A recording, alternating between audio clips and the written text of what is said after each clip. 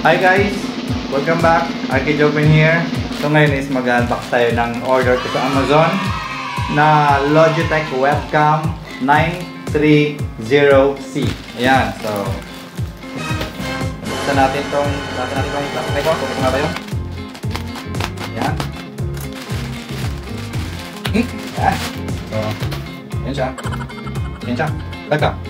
930C webcam. Okay, from Logitech. So mahaba-haba yung aking pagre-research ng ah, webcam. Kasi itong ah, webcam sa aking ah, micro ah, sa aking laptop is 7 ano siya 720p siya pero ah, hindi siya maganda talagang super low quality. Hindi siya pwedeng pang recording dito sa sa YouTube. So kaya nag-research ako na pang upgrade. Maraming Chinese brands pero ito pa rin ang pinaka the best ang Logitech. So, may marami rin klase yung Logitech, pero ito na ang napili ko, yung 90 930C. So, okay, ito, yan siya. Kung ano naman ito. Tingnan natin. Yun. Yan siya. At ano pang meron? At ang kanyang cover. Okay. That's it. Wala na. So, tingnan natin itong... Hmm? Sino yan?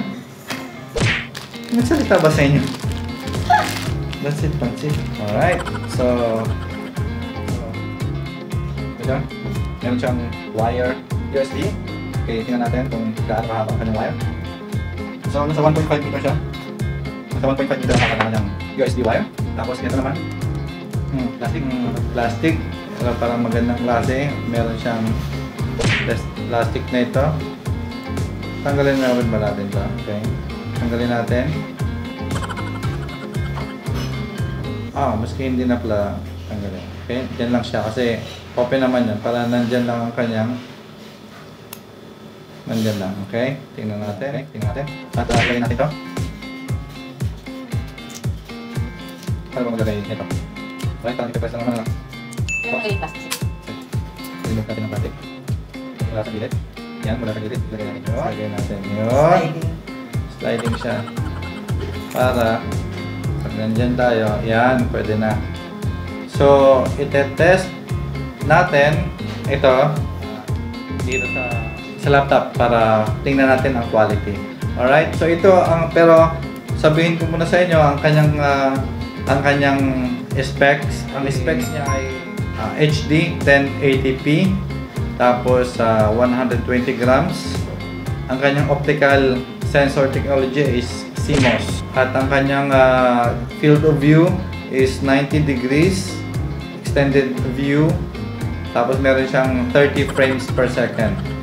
At meron siyang 4 times digital zoom. Tapos pwede siyang i-tilt, i-tilt, i-pan, na tilt and pan.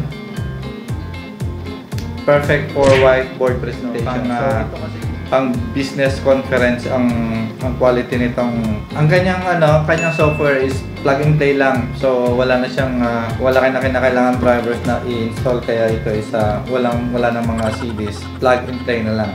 So kung gusto niyo kita ng malapitan ito yan. Tapos meron siyang nasa baba. Paano yung nakabigyan sa ano? Kapit natin. Sure.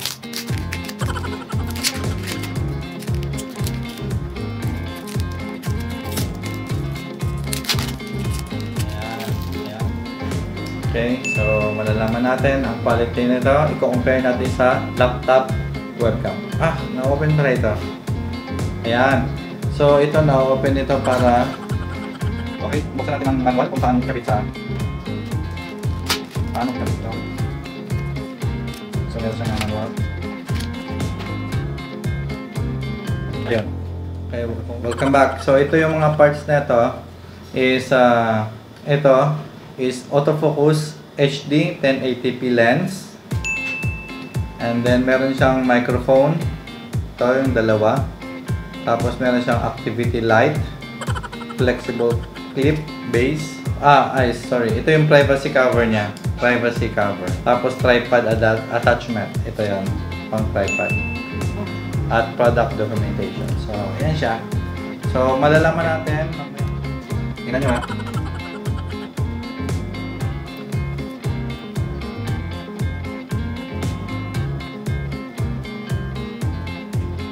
Yun.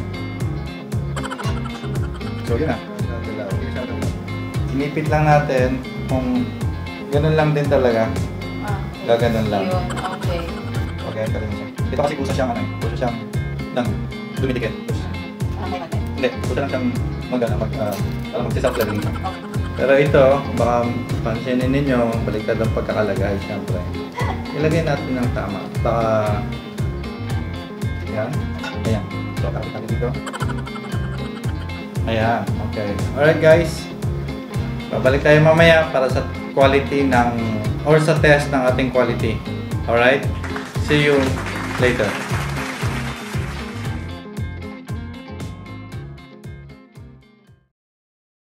Logitech webcam C93 900 or 930C. Okay, again. Again.